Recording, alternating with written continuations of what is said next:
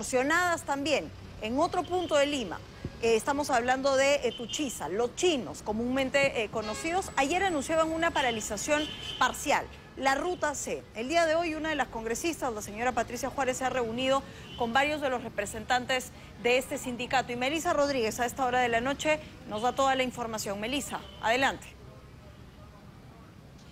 Así es, buenas noches Claudia, de todos los televidentes. Estamos precisamente en Lima Norte, esa zona de nuestra capital que la primera vicepresidenta del Congreso, Patricia Juárez, ha catalogado como eh, una zona con alto índice de criminalidad, sobre todo de extorsión y cobro de cupos. Estamos precisamente en uno de los paraderos de estos buses Etuchiza, los chinos, por aquí transita la ruta C, por aquí transita la ruta A, y hay que entender que hoy una de las primeras respuestas precisamente la ha tenido la congresista Juárez, que se ha acercado hasta el local de la Ensenada en Puente Piedra de estos buses, se ha reunido con los trabajadores, tal como lo podemos ver nosotros, hemos visto los videos, lo vemos en pantalla y ella ha recogido todas las impresiones de lo que le han dicho estos trabajadores de la empresa Los Chinos, más conocida como Los Chinos, porque incluso en el Twitter que ella pone cataloga que están desempleados y claro, se refiere precisamente a esta paralización parcial que ayer habíamos comentado.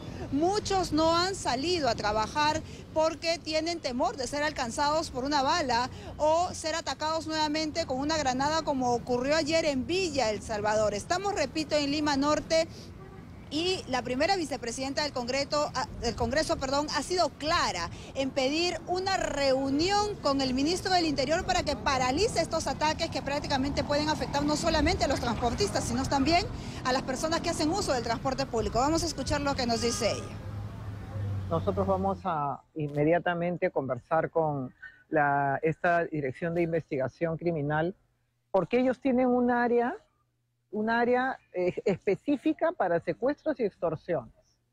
Entonces ellos tienen que ya estar enterados de este problema y haber tomado acciones. Y en segundo término hay que hablar con el ministro del Interior. Nosotros, yo soy primera vicepresidenta del Congreso, yo soy este, miembro de la mesa directiva del Congreso.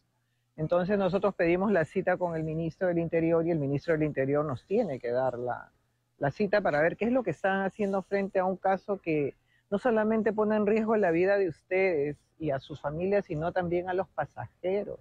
O sea, cuántos niños, cuánta gente transportan y este y estar en una situación como esta, la verdad es que es este es, es, es genera pues una incertidumbre y una, un estrés terrible. Vamos a hablar con el ministro del Interior porque tiene que haber una solución.